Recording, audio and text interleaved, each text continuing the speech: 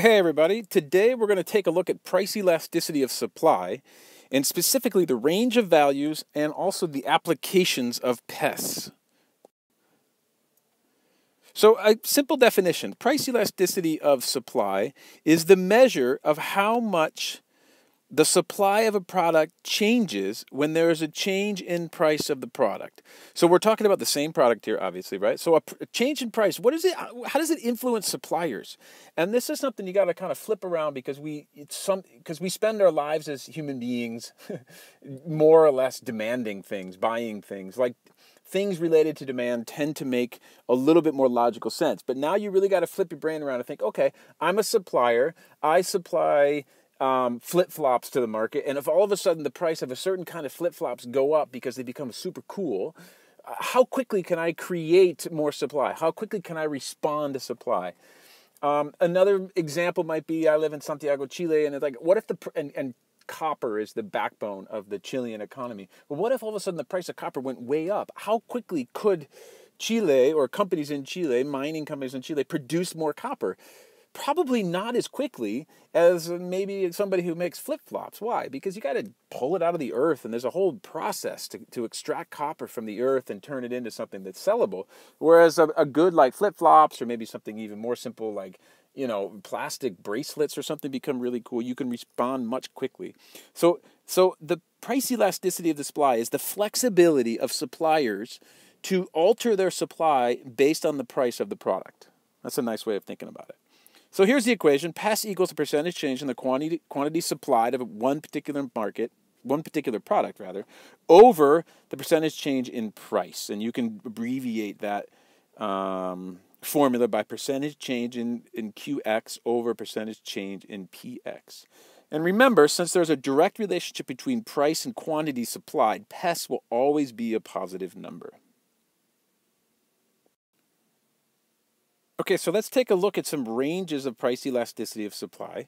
And very much like price elasticity of demand, if if the when you put the numbers into the equation and the number ends up where PES is greater than 1, then you would say that um, the supply is elastic in relationship to price. If it's less than 1, then it would be inelastic. If it equals 1, it would be considered to be unit elastic.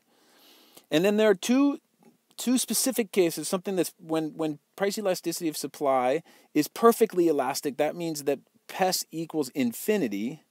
And when perfectly inelastic, PES is going to equal zero. And we're going to take a look at those two special cases. Okay, but for elastic and inelastic, it's just it's important to know as you're a supplier if you can re respond as quickly as possible to a particular change in price. And the more elastic your good is, uh, you're the more likely you're going to be able to respond to a change in price. If the price goes up, you can produce more. If the price goes down, well, you can cut production. Okay, if it's inelastic or less than one, then the opposite would be true. So let's take a the, look at the two perfect the two uh, special cases when when price elasticity of supply is perfectly elastic.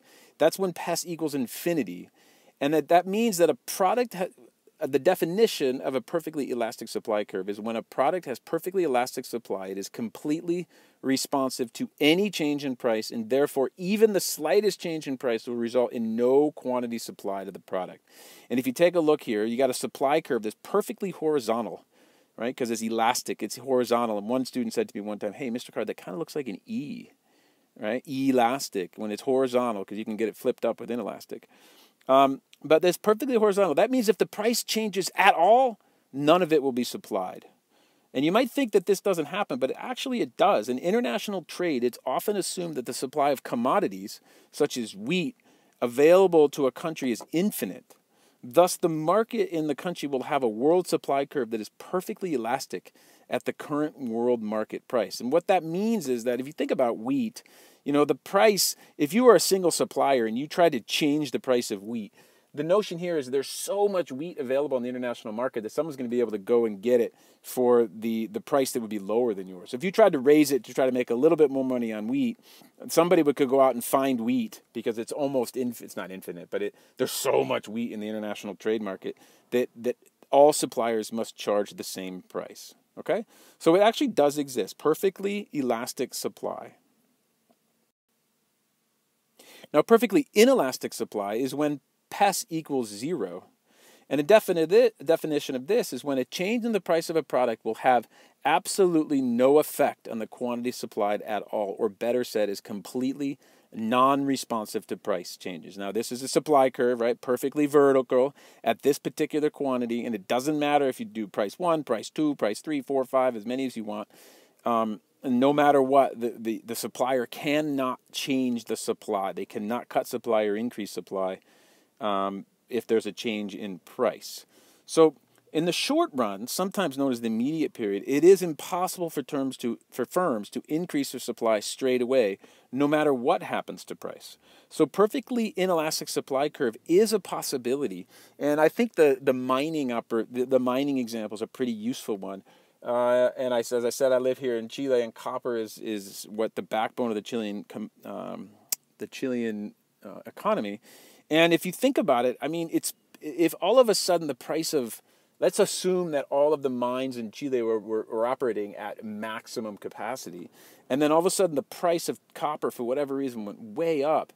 It would take in the immediate short run, in the short run, or the immediate time period, it'd be pretty impossible for a company, a mining company, to all of a sudden start just extracting more copper. No, you have to invest millions, and if not a billion dollars, into a mine. If you know that the copper's there, that's great, but it's going to take you six, eight, ten, twelve months in order to start responding to a change in price. And of course, by that time, the price could drop. So, perfectly inelastic supply curve is also a possibility. Now, let's take a look at why we care. Um, I'm constantly saying to students, yeah, but so what? Why do we care? There are two main reasons why price elasticity of supply is important. First, it's, it's important to firms, and secondly, it's important to the government. Okay. Firms, why? Well, for the same reason as always. They're trying to maximize profits, right? And if a producer expects that the price of her product to change in the future, she'll want to adjust her output accordingly, right? To be more elastic to the to particular change in price. Maybe if the producer thinks that her product's going to go down, the price is going to go down, she'll want to adjust her her her out her output to be less than that, right? So you don't end up with too much in the marketplace. And being able to adjust output in a timely manner to price changes is key to maximizing a firm's profit. And another example is like price elasticity supply. Um, you know, if you have corn and you plant all of your corn and you're waiting and you're halfway through the harvest season and it, you know, it takes nine months for corn to grow, more or less, depending on where you are, the kind of corn. And halfway through the corn season, right, four months into it, all of a sudden wheat becomes extraordinarily expensive. I mean, you would love to be able to change your production from corn to wheat because you easily could have produced wheat instead of corn, but you can't, right? You can't. And so, therefore, the firm, in this case, the farmer, wouldn't really be able to maximize profits so much, right? Because they wouldn't be able to to change the output.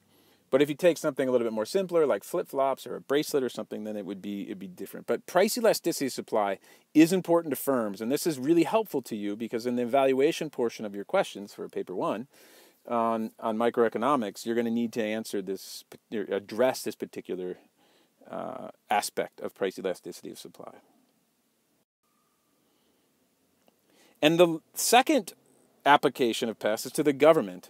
And a government must consider PES for, is, for a good if it is considering intervening in the market for that good. And this comes down to, you know, uh, uh, putting on a price floor, maybe taxing a particular good or subsidizing a particular good. They're going to want to know how flexible are producers to a change in price.